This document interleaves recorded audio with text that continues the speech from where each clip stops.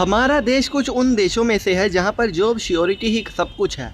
और इस job surety का जो कीड़ा है, वो लोगों के दिमाग में आज के वक्त में ऐसे घुस चुका है कि लोग अपने टैलेंट के दम पर रिस्क लेने से भी डरते हैं।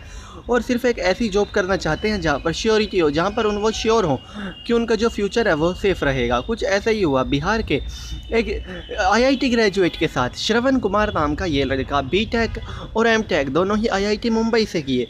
और दोनों में ही सिर्फ़ एक साल इसकी बैक आई, बाकी इसके अच्छे खासे साठ परसेंट नंबर है। लेकिन आईआईटी से ग्रेजुएट होने के बाद इस श्रवण कुमार ने जो कदम उठाया, वो वाकई में काफ़ी लोगों को सोच में डालता है।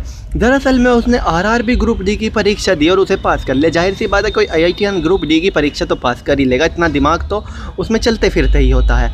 और उस ग्रुप डी की जॉब में वो ट्रैक मैन की नौकरी आराम से कर रहा है और उसमें वो खुश है।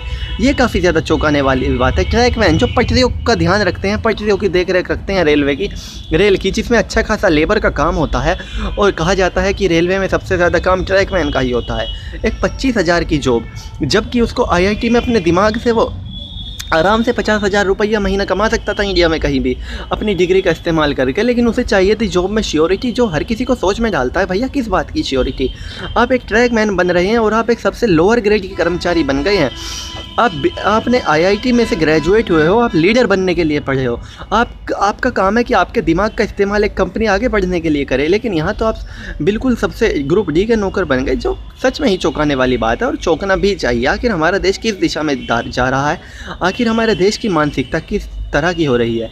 आजकल देखा जाता है कि लोगों के रिश्तेदार भी ऐसे होते हैं, चाहे कोई प्राइवेट जॉब में सत्तर हज़ार रुपये कमा रहा हो, लेकिन सरकारी जॉब में अगर कोई बीस हज़ार है, किसी की तनख्वाह और उसकी पोस्ट बहुत छोटी है तो उसको वो तवज्जो देते हैं और उसकी ज़्यादा इज़्ज़त करते हैं और सत्तर हज़ार वाले को सिर्फ़ एक नौकर समझते हैं, जबकि हकीकत में हम सब नौकर हैं। इस ज़िंदगी में हम पैदा हुए हैं किसी न किसी की नौकरी करने के लिए।